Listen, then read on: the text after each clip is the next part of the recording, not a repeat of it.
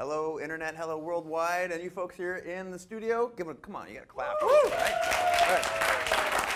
We are, thank you. Okay, okay. No, I'm just kidding.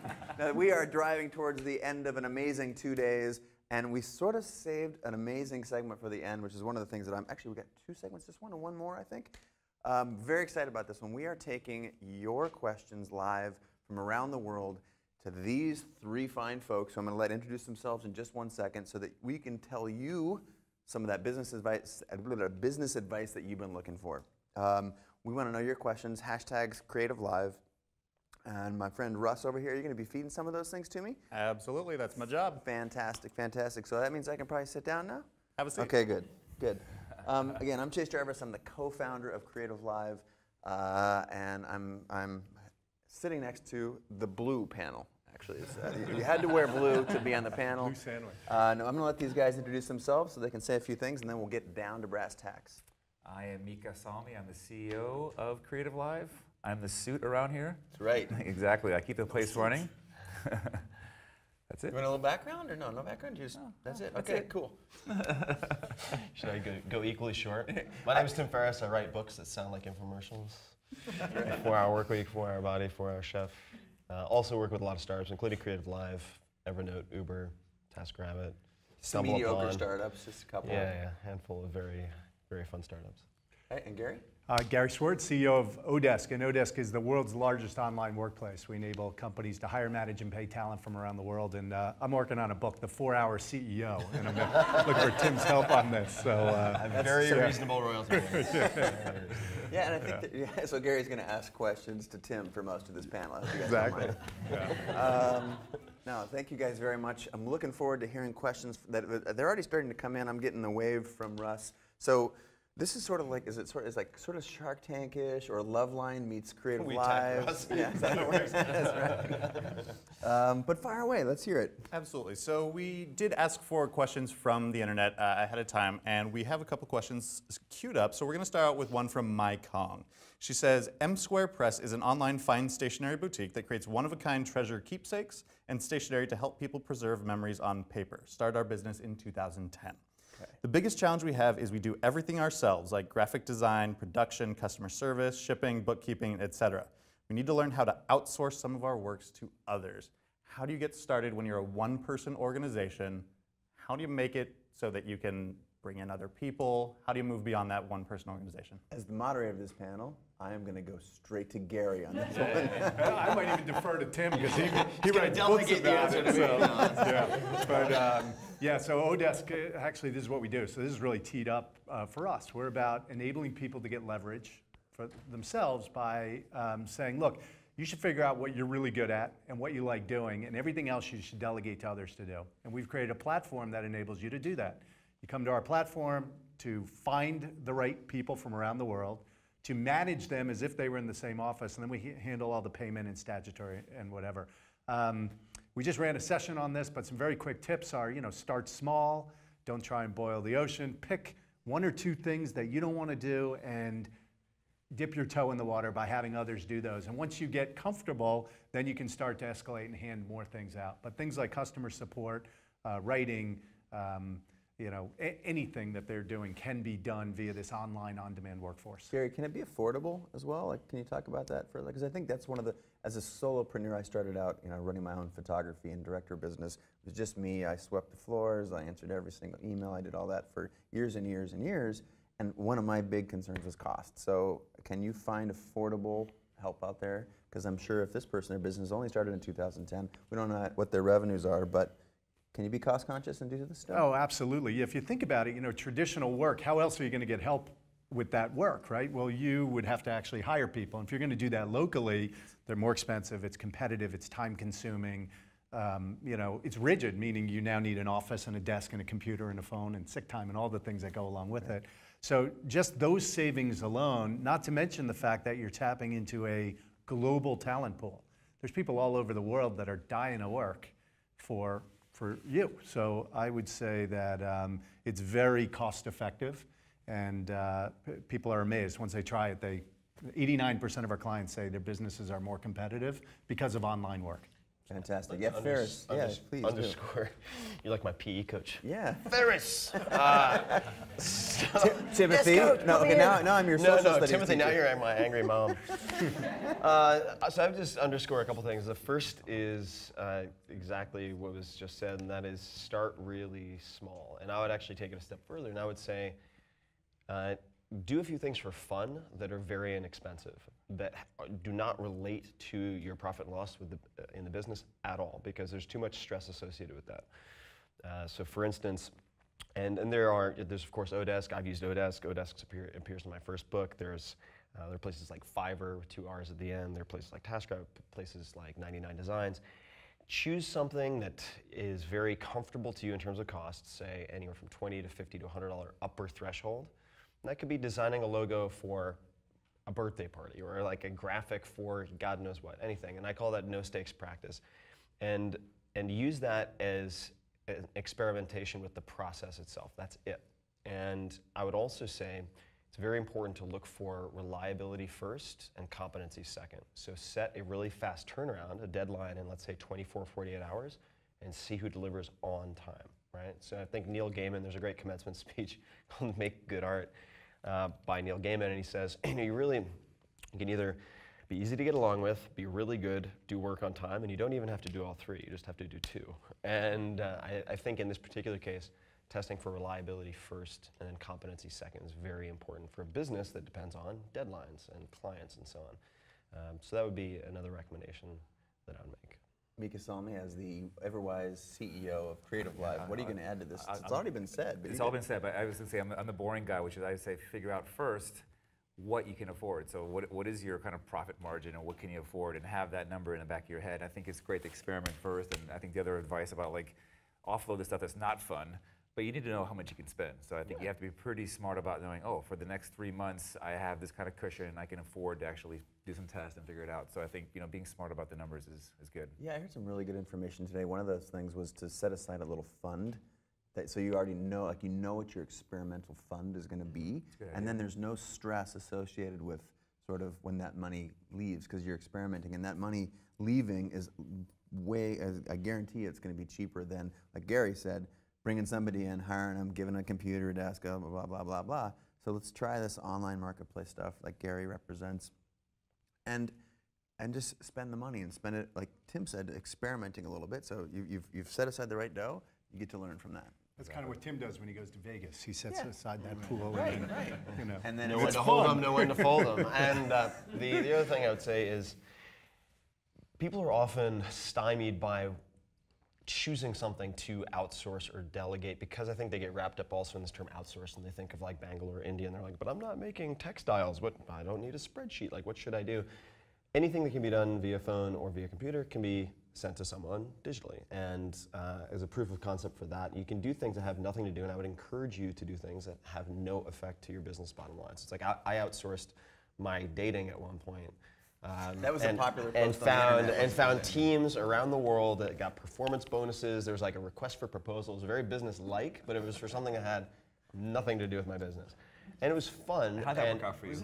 It actually worked out really well. It was depressing though. It worked because, out for half the people you know, that worked I, for you. I, I was in, I, I was in San Jose, nicknamed Man Jose for good reasons, and um, it was enlightening and depressing that I actually ended up with a long-term girlfriend out of that. Whereas all my previous attempts, like going out to bars and doing dinners and all that, had failed. And I was like, I'm either really bad at that or Really good at some other designing a insight. program, right? So there you go. One weekend and a bunch of uh, a bunch of teams, and uh, got a girlfriend out of it. and a television show, I bet too. Yeah, yeah, right.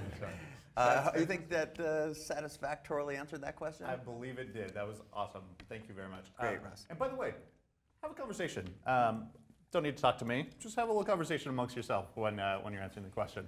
I'm just a guy. I'm just answering the questions here. Who you is guys this are the smart people. You guys why are is, the there, smart why is there a strange man talking to us? right? exactly. So I'm going to read another question here, but I just want to from the remind the audience that Great. you guys have an opportunity. I'm not going to call on Russ. I'm going to call on the person in the back row. I think that's a great idea. I just had a. Stand up. Yeah. Yep. Um, I was empathizing with the asker of that question, and I think there's also this component of sometimes you don't know what to do, or you're worried about you're going to step on a legal boundary or something.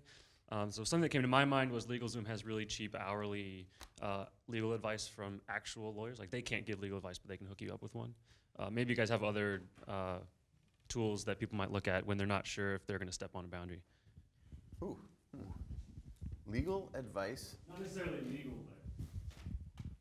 Um, not necessarily legal specifically, maybe but can you there's sometimes a fear or like being unsure what the first step is or what you're allowed to do, what your limits are. And it's a slightly different question or slightly different tool set, perhaps, than what we've talked about. Yeah, well, can you, I guess the response that I'd have, if I do understand the question, is what can you do that's close to that, that you can clarify that is not in the bound of legal and high stakes? So, like something that's more risky than designing a logo for a birthday party, but not getting legal advice on intellectual property, for example. So I push right up to that line a little bit, check your comfort level, and then I- will also sort of um, step back one one little bit and say, I think it's much better to have a lawyer that you know and trust. And it's better to find the person that's it's the right value for you in that same way, like experiment with a little pile of money where you know, like, because it's legal advice. And to bounce around and get like sort of ad hoc legal advice can be risky to your business. So I would prefer, uh, my recommendation would be to actually find someone that understands what your budget is that you can clarify. I would try and avoid paying a retainer to start that relationship. Start ad hoc a little bit, test out a, a few folks, and then find someone that you really like. I don't know if you guys want to touch on that or not, but Well, specific to legal stuff, uh, I would say, because I, I work with a lot of lawyers, but uh, the first would be there, there are things that you need legal advice for, and then there are some things you need a legal template for, and those are two very different things. Uh, so I think price shopping for lawyers is often like price shopping for a neurosurgeon. You just don't really want to do that because you will end up paying for it later. and uh, that having been said, uh, I, and somebody on the internet can fact check me here, but I believe, uh, so Automattic, you know, Toni Schneider, huge company now, Matt Mullenweg, uh, who's one of the lead developers of WordPress, did his initial incorporation with documents on LegalZoom. okay, so it's like you don't have to be super, super fancy in the beginning. The fact of the matter is, yes, you can pay a lawyer $750 to do a bunch of, of nebulous work, which is really just grabbing a document, doing a search for place, and then sending it to you. Uh, but when it comes down to uh, negotiations, for instance, there are cases where you want a powerful law firm or a well uh, respected law firm because people are less likely to abuse you in that negotiation if they feel there, there are consequences with other clients that law firm represents, for instance. Okay, so the, there are a lot of factors to take into consideration that way. yes. Uh, there was a question that was right next to you. Yeah, let's go ahead and send that microphone back. Hi, Tell um, us a little bit about yourself. And Yeah. My name is Maggie. And um, first, I'll just say the last two days have been really amazing. Um, I've gotten so much out of it. Um, I come with 20 years of experience um, in a lot of like big name firms like Schwab, Wells Fargo, Barclays Global Investors, where in those big firms, I have built teams and managed people and projects and things like that. My heart, I believe, is in Silicon Valley. That's where I live. Those are the kinds of things I um, am interested in. I read in my spare time, things like that. What advice would you give to someone like me who wants to make a transition later in life? Into into um, so um, as an example i read a lot about technology and about companies who are looking you know moving from they just want to build a product to that next phase and i feel like i could bring my experience and come help them but how do you identify those opportunities when they're like just 50 people and you don't have that social network no, I get it. Mika, this is for you. Yeah, that's a good question. So I think that uh, it's it's I think your question is a good one because sometimes it is tough to break into an industry. It's really really hard. And actually, I wrote that one post though. uh, Just get in. I said is like I, I really believe that you've got to just find whatever road you can make. And I think the best way in Silicon Valley, like anywhere, I think, is if you can just you know whatever way you can do to help out people or companies. And so it could be just in the most minor way because your skill set, you're like, you know, you met somebody and they need some help. It's basically, uh, you have to work for free often in the beginning or volunteer, or you might work even, it could be even like a, a nonprofit that you're working for, and through that you meet people. So you just need to find a way to meet the right people. And so I think being as social as possible is very, very important. Um, but I also think that you, if, if you hear about something and you feel like, oh, I have just that little bit of skill, just find a way that, in a very non-threatening way. I think you know a lot of times there are a lot of people trying eager to get in. You get eh, people, people get panicked, and so the, the best way to do is like, oh, I have this little skill. Can I help you out with this? And through that, hopefully they'll go, wow, they know what they're doing, and then you, you only will stick to the next step and the next step and the next step. But you just have to get in in some way. And like I said, it could be through, you know, children's schools, it could be through nonprofits, it could be through volunteering, it could be just just start somewhere. And once you started there, then you can move on to the next thing. Um, and I think once you're in in some way, then you can expand that role. So I think that's the, but the hardest part is getting in. I think that's where it becomes just trying to be social, just trying to meet people and find some way that, oh, and it may not be the perfect thing the first thing you do. It might go like, you know, I really hate this. This is a kind of a crappy thing. But you're at least in closer, and from there you can expand and get to the next place. And you're getting that experience. And I would say that, and Mika, you probably, the same is true for us as well. We have open recs right now, which we can't find enough talent, right? So companies want this. They want great people who have specific skills, and they're looking for A players who can really deliver value and make an impact. So there's no shortage of demand, right? So good supply is in fact needed. And just one other piece of guidance on this. I think that if you were to sort of draw three concentric, not concentric, but three overlapping circles to make a Venn diagram, what do you like doing? Right? So what is that you like doing? Number two, what are you really good at? You may like doing something, but not be that good at it. Like I like playing tennis, I'm not that good, right? Um, so what are you good at? What do you like doing? And then is it a big market or is there a demand for that thing? And if you can sort of sit down and define those and come up with the list, then I think it might help you to hone in on the companies that are looking for that right? So try and find the overlap of what you're good at and what do you want to do, and is it big? Then can you hone in on the companies that are doing that thing or need that thing? At least it gives you a starting point. That's a good point. I think if- if you could figure out like 50 companies, that's a lot that might be you're interested in, and then you can go on their webpage. Our, our website has all the jobs that are listed, and start looking there, and then you realize, oh wait a minute, Creative Live has a job I'm looking for. Oh, I this guy, and then you need to contact the right person somehow. But I think that's the other thing is using LinkedIn, whatever kind of social way you can, to find your way to get a good contact of the company. Because I think blindly sending a resume is not always the best ways. You need to have some way to get in there. So I think you're right though. Just you just need to figure out like what are your where's your competency and what you want to do, and then and then really start doing some research. But it makes you a better fit for that opportunity because then you're all in on that. Instead of spreading it 50 places, you're like, no, no, no, no. Creative Live, that's for me because I love, I can get excited about the mission. I'm, I'm a great writer. They need my content. I'm great at, you know, whatever it is, you can, you can sell yourself into that opportunity better, I think. I think yeah, I think that is really a crucial distinction. Is like spreading a wide, thin net. Is you're going to be less passionate. You're going to carry less passion into the conversation. And good recruiters, good hirers, they can smell it. Do you actually care about it? Are you in it for a job? And it doesn't sound like you're, you've had a lot of good, good career moves. So if like it's really comes down to making those sort of Venn diagram little gut check in here. What do you actually want to do? And I think start there first because there are companies that are hiring for what you're good at that are in the space that you're passionate about. It's just a matter of through some sort of deduction. But I would say identifying also just get in the door a little bit. Once you're in the door, then you can expand it. So like, Oh, sometimes it's not going to be your perfect job. Absolutely. And just get- get in, and once you're in, then you can move around. I also have to. I, I have to. I have Get to on the sort of- bus. Get on- yeah, get on get the on. bus, even if you're the bus driver or if you're the if you're the guy who's sweeping or gal who's sweeping the bus. Just get in. And I think there's other thing which is that it you need an introduction from someone. You know, Reid Hoffman said that's the number one way. That, that's basically the only people that read who, if, you know, you've got to be familiar with Reid Hoffman is. He's the the uh, co-founder and executive chairman at LinkedIn. Um, they call him. He's got the Midas touch here in Silicon Valley as an investor as well. Very, his network is very hard to penetrate, but if it comes from a trusted source, he will take that phone call, take that email. So that's that's similarly applies here. I want to underscore one thing that Mika said, and that is uh, volunteering. So wor- working for free is extremely important uh, if you do not have the current contacts that you want to have, or just the peer group that you want to have, right? Because you're the average, let's say, of the five people you associate with most. I built my network when I first got to Silicon Valley by volunteering for two organizations the Silicon Valley Association of Startup Entrepreneurs, SVASE, very catchy, and uh, TIE, so the Indus entrepreneur, because I'm clearly Indian. And uh, uh, both very influential organizations with fantastic speakers. And I started at the bottom of the food chain and just did twice as much as they expected me to do, which as a volunteer gets you promoted to do more free work. And eventually ended up uh, volunteering to run one of their major events or main events, which meant that I got to pick the speakers, coordinate with the speakers, spend time with the speakers. And some of those people, this is in 2000, I'm still friends with.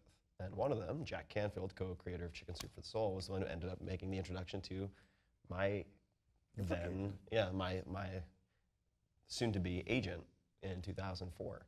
Uh, so it's, I think it's really critical to not only develop a network like that, but if you're having a tough time figuring out like what you really want to do, what you're really good at, try to find people that you feel are worth emulating. And you're like, you know, like that life, not just the job, but like that life that they have is something I would like to emulate, something I can see really be, being passionate about, and then deconstruct the path that they took to get there.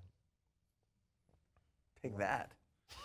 yeah, that's a good one. All Let's have another question, not from the in-studio audience, but let's just go back to the internet if we can for a second. Absolutely, we sure can. We have Sean Columbus, whose Twitter handle is at Kemsarov.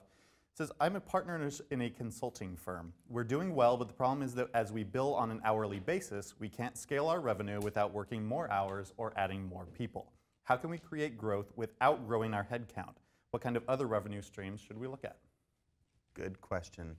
I think that's that's there's largely a product idea in there, and I know someone who scaled uh, a product to be able to connect lots of different people. Gee, I'm struggling with this one. You know, like a lot of times when the product is you, you have to figure out how to scale it. I think Tim has done an exceptional job of that and could probably come at it from a different angle. But um, you know, when I think about, well, let's see, how do you how do you make more money for your business? You either have to charge more, right? You have to get more clients, or you have to sell different products, right? So you have one product, you have to add another product line.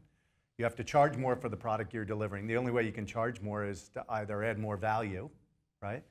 Um, uh, yeah, or get more clients who will give you give you more money. I think in a consulting business it's tough because the only way to scale those is in fact to add more people.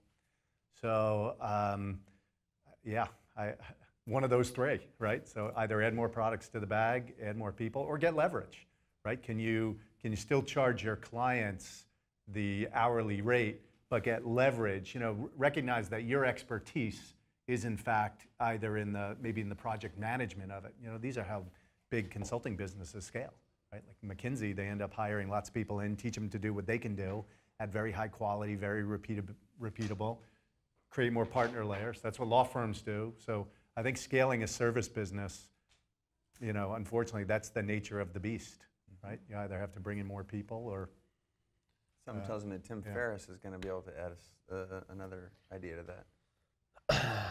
Uh, because you're the product, right? So you, how do you scale yourself, right? cloning. Yeah. No, I.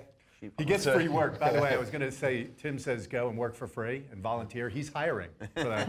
yeah, yeah. I'm amazing free benefits. uh, I would say that this, just due to the format of what we're doing right now, it's, it's tough to give an all-inclusive answer. So I'll just point, I'll, I'll suggest three resources in this particular order. Uh, number one, there's an ebook that just came out. It's free by a company named FreshBooks, which is an incredible company out of Canada. Uh, and it's called Breaking the Time Barrier. It's exactly about how to scale a service business uh, and scale it without adding headcount in order to do so, uh, nor multiplying your hours in order to multiply your income um, in a one-to-one uh, ratio. So breaking the time barrier, you can download it for free, number one. Uh, number two, the E-Myth Revisited, which is also uh, sort of an expanded discussion of how to scale service businesses, or should you be in a service business to start with. Uh, that's number two. And then number three would be a book called Small Giants. And it's about companies that choose to be the best at what they do as opposed to the biggest. And I think that before we ask, how can I scale, the question might be, do I want to scale? Should I scale? Or should I just be the absolute best, charge 10 times what anyone else charges, and deliver the best product? Uh, so there's, there are a lot of options there. But those would be the three resources I'd recommend. Rami? I think actually you guys both nailed it, but Gary, uh, it's it's uh, applicable to Creative Live. So you know we want to grow this business, and the way we're doing it is that um, we're adding more classes, more workshops.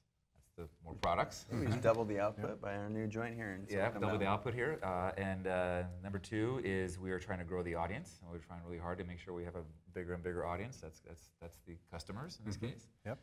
Um, and uh, but the, the third is we still had to hire more people. We had to hire more people, and I think we, I think a lot about it. Like, how do we make sure that as we're growing, that we don't just keep throwing people at it, as because otherwise everything, the costs go up. Yeah, the audience goes up, and the you know revenue goes up, but everything's going up. Was we've been fortunate, we've been profitable, uh, the last few years, and that's because we've managed to kind of keep those in a good ratio. So I think this idea of scaling um, is, is an important thing. And I think one thing that we're trying to do, and I think a lot of software companies, which doesn't really apply to what this person's asking about, is that we're building a product that's going to uh, cause engagement where people will actually will contribute things to the Creative Live courses in some way. So we're trying to build a product that actually uh, allows people to come and that's, that'll scale, and that's, that's a very software kind of solution. If you build a solution that, I'm sure you know, that's what you guys do, is you, and that's what a Silicon Valley thing is that you, you try to find a technology solution that allows more customers to come in without you having to add more people to support those customers. Well, actually, it, it's relevant to us because in the early days, Odesk, you know, we created this platform for finding and matching, then managing and paying,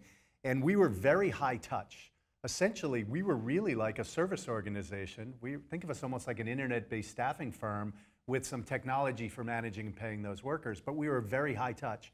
We spoke to every client, we spoke to every contractor, we kind of hand matched and we had this little technology platform in the background. And we realized very quickly that that wasn't going to be a scalable business. We were, in fact, a service business. Mm-hmm. If you have to touch every client and you have to be hands on and be the one throat to choke, and instead we took a step back and said, wait a second, if we were more like a platform, we, at that point, we shifted and decided to be more like eBay, right? We're not going to be in the middle of the transaction. We're going to enable clients to find and match themselves, to manage it themselves and pay themselves. And because we're not going to be in the middle, we're going to actually have to charge less, right? We were charging 30%. Why? Because we were very hands-on. We were in the middle. We were earning 30%. As soon as we stepped out, we now could only charge 10%. So imagine seeing your revenue go back uh, more than a year, right? I mean, we took a steep decline. Revenue's going like this, and all of a sudden it dropped. But once we did that, our revenue went like this, right? We created a different product. And so it's one way that we decided to scale our business. We pivoted to make the product less about us and more uh, a platform or more technology. So, uh, which isn't easy to do, by the way. I'm not recommending that. it's not an easy way to. Uh, it's not an easy thing to do. I'm just gonna to Oh, dr- uh, yeah, go for Sorry, it. Tim. sorry, I just no can't problem. contain myself. I just realized I don't know what o, the O in Odesk stands for. What does that stand for? Well, it's zero or no. Uh, originally, our, our uh, first logo was a globe. So it's like a world desk, no desk. And you know what we believe is that work is not a place. You don't necessarily need a desk. You just need to access to online. You just need a computer, and that could be at the coffee shop, the beach, And the N is anywhere. silent. Yeah. No desk. And, yeah, and yeah, it turns out that you don't want to have no in the title of your. Uh, the GN is silent. Right? Naming your company no something is not uh, good. So it's uh, zero desk, no desk, global desk. Uh, I'm just going to dovetail with what Tim Tim said, and that is, uh, you have to ask if you actually really do want to scale. I think there's this. It's it's very much an American idea for one. You know, a lot of global businesses. You've spent a lot of time living abroad, uh, Mika, and you know that it's like, what what do you expect to get? You may know the story of the fisherman who's. Uh, uh, a rich American goes down, uh, story goes down to Mexico, and he hires this guy to fish. And he's out fishing, they're having a great time. They, catch a lot of fish, and the whole time they're fishing, he's like, "Oh man, you could scale this. You could, you could, um, you know, hire more people. You could catch more fish. You could have a whole fleet of boats. I can fund you. We can turn this into a great deal." And the guy says, "You know, well, why would I want to do that?" It was like, "Cause if you had a lot of people working for you, then you could take time off. You could sit there and you could wait for some silly gringo like me to come up and and uh, hire you." And it's like, "Well, that's essentially what you just did." So, and he he didn't actually have to scale it at all. He had the life that was the end that he was looking for right now. He just didn't realize it. So, uh, I took some advice from this weird book I read called The Four Hour Work Week. Um, in which I applied the 80-20 rule Witchcraft. Be careful. in which I apply, uh, applied uh, Pareto's law, which is the 80-20 rule. And uh, at the end of, so prior to being deeply involved in Creative Live, my entire livelihood was as a photographer and a director, which also doesn't scale. You're the talent, you're the people that, you're the person that someone wants to talk to, hire, vision, etc. It's like at the end of every year, I had to look at the clients, who on that list was awesome to work with, who did I get a ton of value, who provided 80% of the value with only 20% of the headaches. And I wouldn't, when other clients called, I wouldn't say, I hate you, never call me again. I would just be, oh, I'm busy. And I'd focused and trimmed to the, to, the, to the group that I wanted to serve. And in that world, I was able to continually elevate my prices. And you think that you could price yourself out, and you probably can, but you can also find a way to create a niche for yourself where there is almost no ceiling. Mm-hmm. And if you work with the right people and you get recommended within that network, you would be very surprised. And scaling might not actually be something that's required. So you could probably add some wisdom to that, but I think we should move on because we all hammered that one like four times. So. yeah, I'm getting a lot out of this. I don't know about you guys. Do we have any questions in the audience? yeah, any, any studio audience questions? I know they're coming in from the internet, They but definitely are, but if we've got anyone in here? okay, we'll go to the internet then. Thanks for us. Okay. So we have one from Nicola in Isla Vista who says, My company makes handmade artisan craft items, gift baskets, small housewares, etc. I started the company because I love making things, but it's getting to the point where I spend most of my time on things like negotiating with suppliers, managing employees, etc. Net result is that I don't get to spend much time actually making things anymore. Do I just need to accept the fact that I don't get to be hands-on anymore? Should I scale back or what? See question number one from the panel, right? We, Yeah. we already took that question. I'd say yeah, E-Myth Revisited and then uh, Small Giants. oDesk, all these guys. Yeah. These guys can help, I think.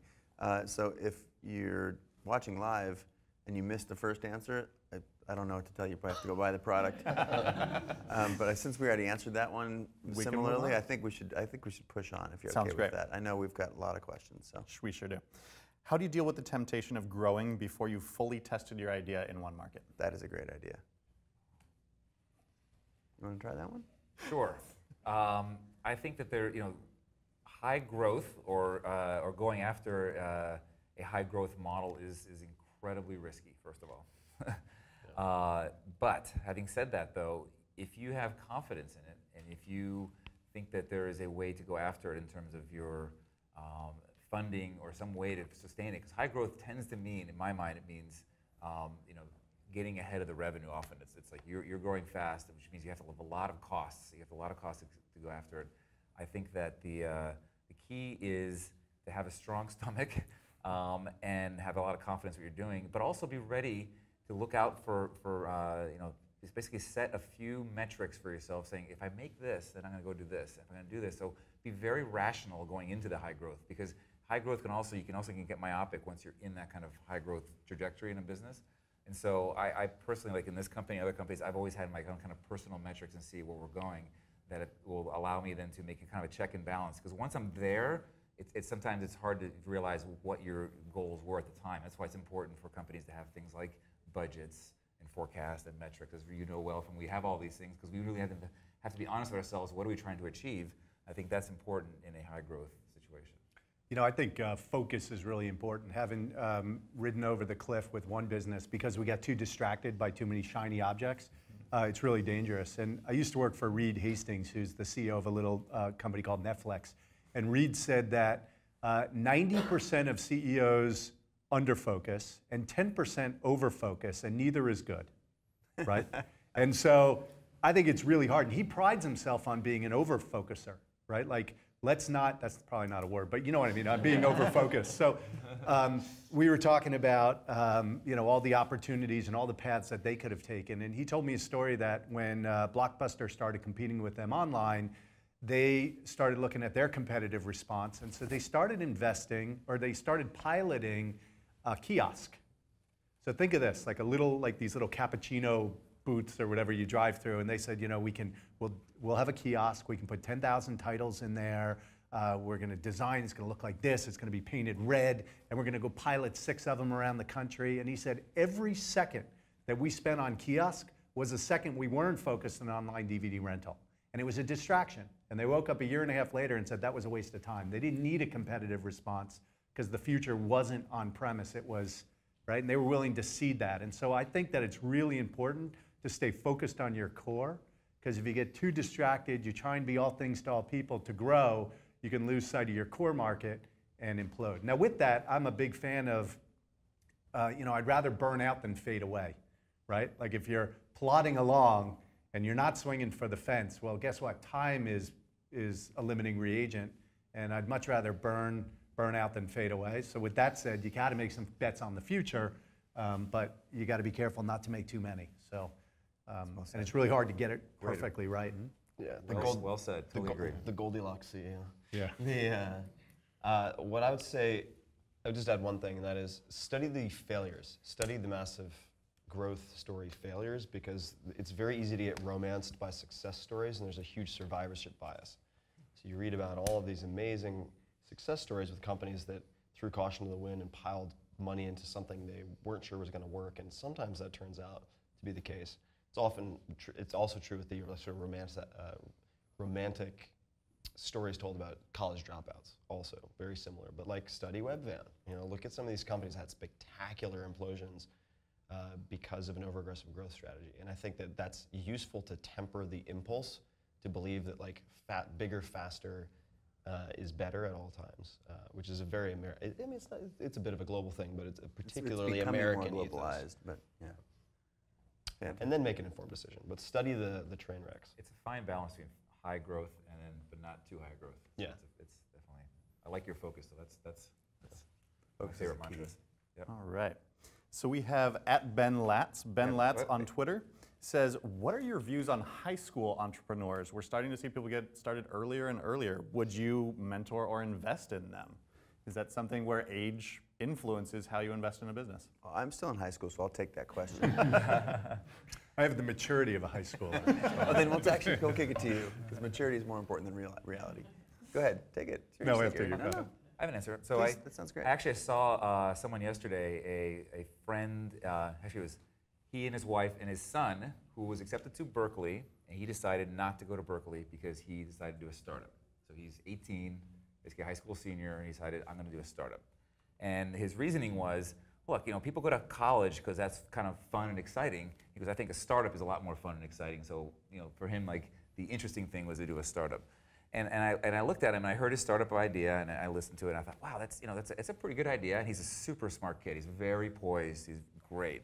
But I also look at it and I go, hmm, I, I feel that, you know, maybe this is my European coming out, that life is so rich. And I'm someone who actually has had small companies my, my entire career. Like I literally, when I was 13, I had a small business. I've always had something, but at the same time, I feel like the richness of life actually has made me who I am. And so maybe not necessarily just always going full bore. And I think college has that ability. So I, I was, I was hesitant. Now, having said all that, there's also, you know, we had uh, Dale Stephens teach on Creative Live, and he was actually around yesterday. He has something called the UnCollege. And Dale uh, was the first winner of the Peter Thiel's Don't Go to College $100,000 grant award. And he basically, when he did it three years ago, and I think he started something called the UnCollege, and he'll, he talked to Dale, which I did yesterday. Um, he was just like, you know, he's, he's vehement. Do not go to college. Everyone in high school should start businesses and everything else. I, I just don't think, I'm like, I hate to, hate to be you know, I hear him, but I'm like also, you know what? Life is so rich, and I think that can also, by having all kinds of other experiences, that may inform your business idea. But again, I'm, I'm, I'm in the middle on all this because I think if you're just so passionate, you got to do it. You got to do what you do. I think following your passion is such an important thing, and if you have that kind of um, resources even to start a business, and not, you know, college is expensive, but restarting a business is also not cheap. So Yeah. We just, um, we just ran a big survey. Uh, um, we went and surveyed clients, right? People are trying to get work done. We surveyed contractors. We found some really interesting statistics.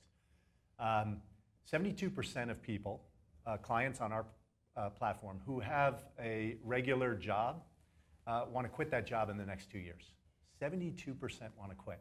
61% said they're likely to quit in the next Can I years. use those statistics in a future talk? Because Absolutely. I Yeah. love Yeah. those data. Yeah. Okay. 61% are likely to quit. Why? Well, because they're not happy with what they're doing, right? They want this freedom and flexibility. They want purpose, autonomy, and mastery. We talked about it earlier with uh, Guy Kawasaki. Uh, Dan Pink writes about this. And so they're not fulfilled. And so entrepreneurship is not how many businesses have you started, it's a mindset.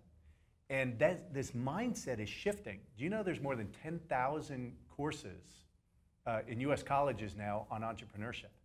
Up significantly from five years ago because there's this mindset out there. There's these high school kids that want to start businesses, and the leading universities are saying, hey, wait a second, we, we need this, right? We need these courses. I've spoken to a dozen schools in the last couple of months on the very topic.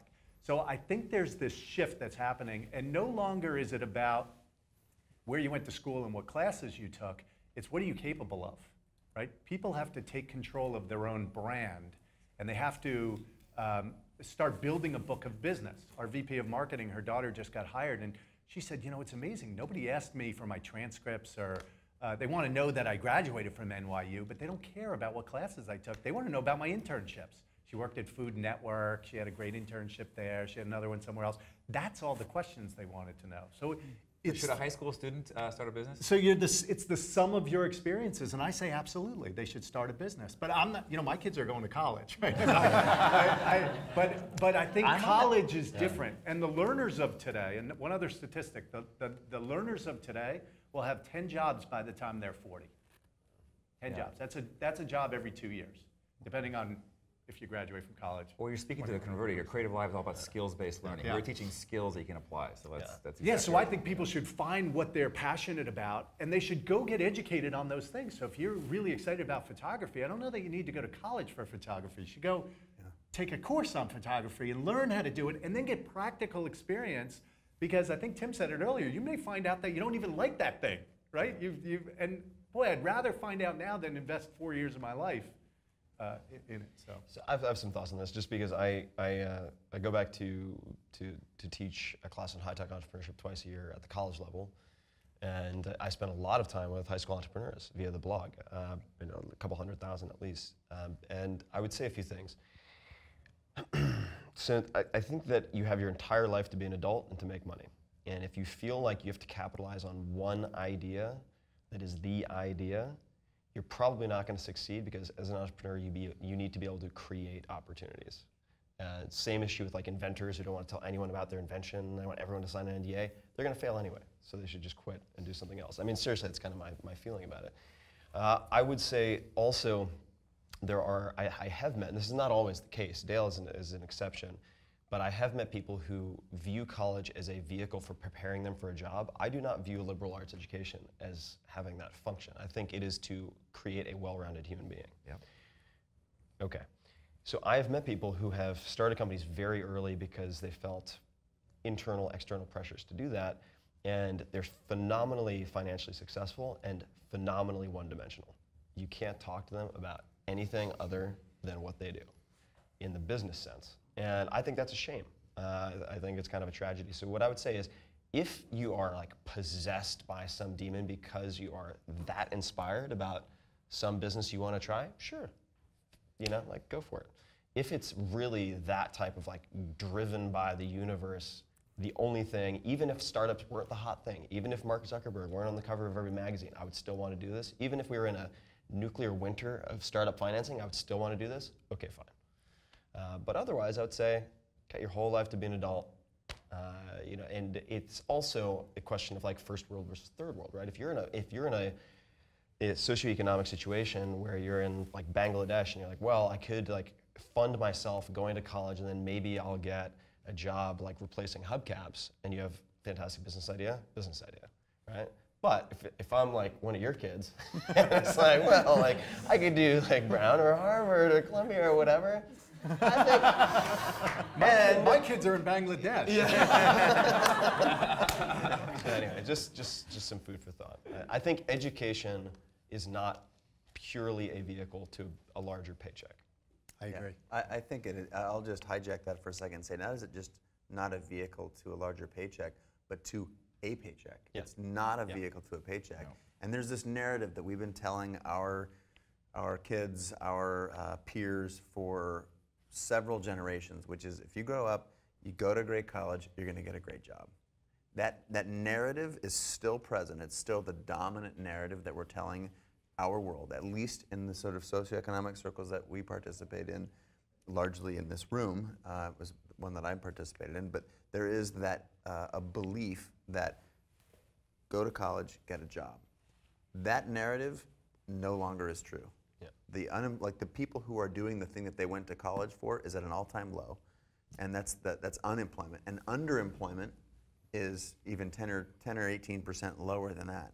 So I'm not as good at with stats as my man down there is, but generally speaking, I think it's time for us to to um, to take a new look at that narrative and decide for ourselves: is this something that is going to school delaying something that we really want to do? And if it is, because it's going to provide a job or a resource at the end, I don't believe it. If you're going because it's going to provide a wealth of human experience and you have the ability to do that, to sort of not be an adult, then I think that is, is, a, is an option.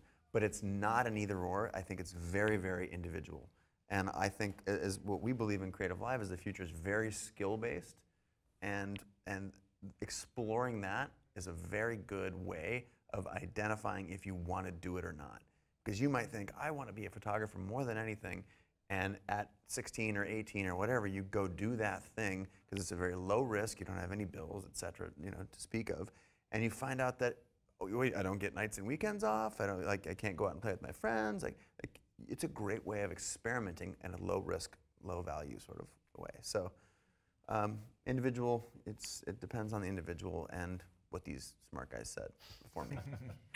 Well, I- we do- gentlemen, that time flies. It does. And I think we are about time to wrap up. Can I? I got one we- we had request. one Please question do. over yeah, here there's that we didn't get to. right here. There we go. So we're gonna send him a. All right, it's a good one. This anyone says this is a good question, I'm sitting Strong forward to close. Bring it on. Cody sitting Kent, forward. the product manager in the Bay Area here. Uh, my question is, I love this idea of outsourcing everything, but what are some things that you love to do so much or you inherently think shouldn't be outsourced? Personal vision should never be outsourced. One, because it's personal. Two, because generally speaking, that, that is the thing that should differentiate you from all your peers. It, it, it's a culmination of your life experience. It's the way you see the world, and outsourcing that is sort of uh, it, it's. I think it's anti-entrepreneurial, for one. Now I'm going to put a slight twist on that. It's if you have a vision that you can merge with other really smart people and sort of leverage that. I wouldn't consider that sort of outsourcing. I would consider that sort of leveling up a little bit and put yourself around really, really smart, talented people. But vision and the thing that you believe in is, is it's, it's hard to, uh, it, for, for at least for me, it's hard to kick that thing to the curb. What do you guys think? You shouldn't outsource the part of what you do that you love. So even like Zuckerberg, he still codes because he loves coding, right? So I think that's a key thing. And I, I've talked to a lot of people who uh, are outsourced and they, they regret that they outsourced or they hired somebody to do the job that they really like to do. And then they're like, they're bummed out in their, in their company or their job because they're not doing what they really love to do. Yeah, especially if they're trying to scale their business and then they end up leaving the thing that is the thing that they wanted to do in order to be the scaler part of it. And then you find out I've got this great scaled business that I know I'm not a manager, I'm not an X, I'm not a Y. I'm the coder and I, I, am 100 miles from coding. It's a real problem. Yeah. Tim, what do you got? I'm still gathering my thoughts. Do you have any? Okay. Yeah, I would say um, uh, do not outsource your dating. Don't ever do that. No, um, Scouting. yeah, scouting Different is story. good. Yeah, see, I think it's all about leverage, right? And it's about best and highest use, making sure that you're A, if you really love it, and B, if you're really good at it, right? And you like doing it, then you shouldn't, uh, you shouldn't do that. The other things you should try and get leverage, um, but um, if you're good at it and you love doing it, then uh, then you should keep it. Cool. All right, and I think we've got one final question right here in the front row. Thank you. Um, one of the benefits that I've experienced um, with my experience here with Creative Live is that we were just having a really um, awesome conversation, Patrick and Carlo and John and I, um, at the tables right before we came in. And um, I think that this is really important for the online audience to hear too. I have my own opinions because I'm actually a, a lawyer, a deal maker, and a negotiator myself. But my favorite quote is the Tim Ferriss quote that is reality is negotiable. Love that quote. And um, I just wondered if any of you could speak um, basically on if you had any um, suggestions as to negotiations, techniques, and uh, how you get other people on the same page or close to the resolution that you're interested in. Uh, that's a really good question. Wow. I want to hear from this guy. Yeah. Uh, but just one quick note read uh, Derek Sivers' writing. Just a real quick. He founded CD Baby, incredible programmer. Uh, he has a very short book that talks a lot about uh, answering your question specifically. Yeah, okay. It's a good one. Worth rereading. Um, I don't have a great answer. I, I feel that uh, the most successful negotiations are ones where both parties feel like they got something out of it. And I think that's just understanding the other party, what they're trying to do. And I, I've been in negotiations with with Hollywood firms and uh, others that where it's like clearly it's, it's one-sided and you, you, you, you- you walk away not feeling good. And you end up doing a negotiation that just makes you feel bad. And I'm always amazed that the other party made me feel so bad. And so I try to go in there making, making sure that we're both going to get something out of it. If we're not, then we got then something's wrong with the, the deal. Why are we making this deal if we can't get figure it out? Um, and but don't get me wrong, I've, I've been in the other side of the table where I've kind of you know slammed something down someone's throat Not you. You were a pretty good negotiator because we you did a class for us. but uh, you did feel abused. See, see, he used a psychological tactic there. But uh, um, anyway, but it- it's you know you, you do that also. But I feel like I, I, the opt- optimal, and I think it's just understanding you know what they're looking for and trying to find those those deal points because most negotiations have multiple deal points, and you, you can give on some things and just make sure everyone walks away hopefully feeling because most negotiations aren't the end of the relationship. That's just the start of the relationship. 'Cause that's the worst thing is if you have a bad relationship, what, what's then what's the point? I mean, You started your answer off saying you didn't have a very good answer, and that's just, uh-huh. you're, dropping, you're dropping tons of knowledge right there, especially with that last kernel. I think that's seriously. You know, as under promising, over delivering. As a former sales guy, I used to think that, you know, your job is to negotiate a great deal for the company, and even at the expense of I win, you lose. And, you know, when I think back on some of those days, I made, just made so many mistakes. I feel badly about it today. You know what I mean? Like, we won and we're high-fiving because we negotiated so well.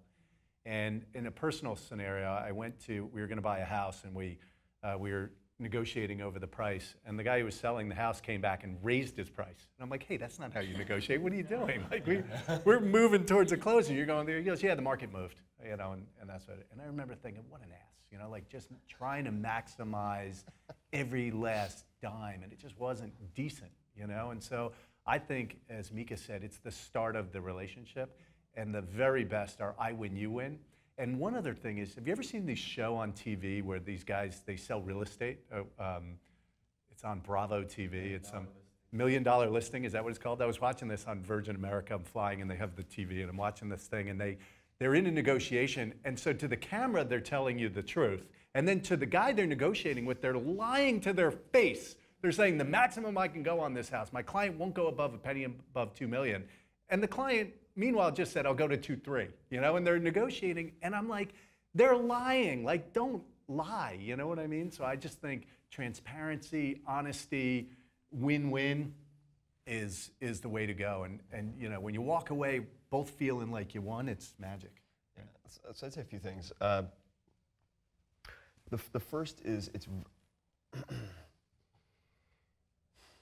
first is uh, distinguishing between positions and interests. So if someone has a very staunch position, they're digging in their heels, like that's their position. You can phrase it that way. Like I understand your position, but like what are your interests? Like why do you have that position? And it turns out that things are very easily resolved oftentimes where it's like, well, the guy the reason that this this family won't sell this land to this developer isn't because of the price, which is what he thought it was, is because they they associate it with their son who was yeah. killed in the war, and, and so the developer says, "We'll erect a statue to your son," and this and that. They're like, "Okay, good, done." And they you have that often comes from digging one level deeper. Deeper, I will say a few other things. The most interesting, long-term, profitable and enjoyable deals I've ever done have always come after developing, having a human exchange, a, developing a human connection with the other person. So it's like, tell me about where you grew up. Like, what sports did you play? What's that? The hell does that tattoo mean on your wrist? You know, like all this kind of stuff where you get a little more color and get a, a better feel for the rapport that you could have, not just at the close, but like two, three, four, five years down the line. Um, and very closely related to that is uh, two things, and uh, we could go on and on about tactics, but I think these are a few of the most important. When people expect you to pitch something or to negotiate, they brace themselves for the sell, right? So they're like, he or she is going to propose this, and then I'm going to counter with that. And often what I will do is I'll almost convince them not to do the deal. I'll be like, you know, like this isn't this type of thing isn't for everybody. Like if you fit in this category, this category, or the product of this fits in this and this, it doesn't make any sense. Like I can't help you like as an advisor, right? If I'm talking to companies, I'm like, I can't help you with like this, this, this, this, this, or this, or this, or this. However, like if it's this or this, then we should talk. And like maybe it makes sense, maybe it doesn't. So being very low pressure. And lastly is uh, like he or she who cares less wins. Always. Like he who cares less wins. So it's like when you, and off, sometimes that's an act. Oftentimes it's because you know what your sort of BATNA is, your best alternative to negotiated agreement. You know your walkaway, and you know you'll be okay because maybe there's option A and option B, but you figured out what option C is. Uh, that is the ultimate leverage. Sounds like your dating advice too. since, since my peers, I feel like said there's there's a whole course on negotiation that was just presented by these these folks. I'm gonna try and say some things that are a little bit different. And one is there's a really interesting technique that I've been practicing lately, and of course it depends on the stakes, right? So everything is about the stakes, and if the stakes aren't low or are something that you can live, this idea of not negotiating at all, just accepting the first offer that comes, okay, that sounds good. And with the goal of, it's, you're, if you are thinking about it from a long-term basis, you can get in, have a relationship, do the thing you want to do, such that when the next round of negotiations come around, you carry the hammer. It's a really interesting approach. It depends on what those original stakes are, of course. Um, two other pieces of uh, advice that are also, um, I feel like, different from my peers here, and they also don't work. They're highly nuanced. One is to have someone else negotiate for you. Yeah. That is the purpose of an agent. That is the purpose. For years, as a photographer and a director, before I had agents and managers and stuff like that in that role, I would have to negotiate tooth and nail with these people to get an extra dollar. And then, you know, you sign the agreement at midnight, and then at, at 7 a.m. you show up for call, and the people that you were just bashing are you have to just like, hey, you want to get a coffee? Let's go. Let's get start the day. It's like it's so weird to go from this combative, you know, and then there it creates a sort of a false um, uh, sense of, of a relationship where there was something that was there was bad blood there. So um, try and have someone do that for you if it's possible. If you know it's going to get a little bit rough, and then at the complete other end of that spectrum, I realize I'm all over the place, but these, you know, let's try and talk about some outliers that have been effective. At the complete opposite end is I've seen people negotiate over the phone and through lawyers and through all these mediators for you know over something for months and months and months. They walk into a room and they can work it out in 45 seconds because there's a human being to human being. You realize uh, like all this honesty really comes out and you just because you know that you're both interested in getting the deal done. So a simple connection with no one else around where you can just go human to human can sometimes work. Yeah. Last thing, you can't do a good deal with a bad person. It Doesn't matter what you negotiate, doesn't matter what the contract says. If you get that like spidey sense, it's not going to work out. Intuition is invaluable. And with that, I think we probably need to wrap up this session. How about a round of applause for my fine panelists here? Thank you much, guys. Thank you.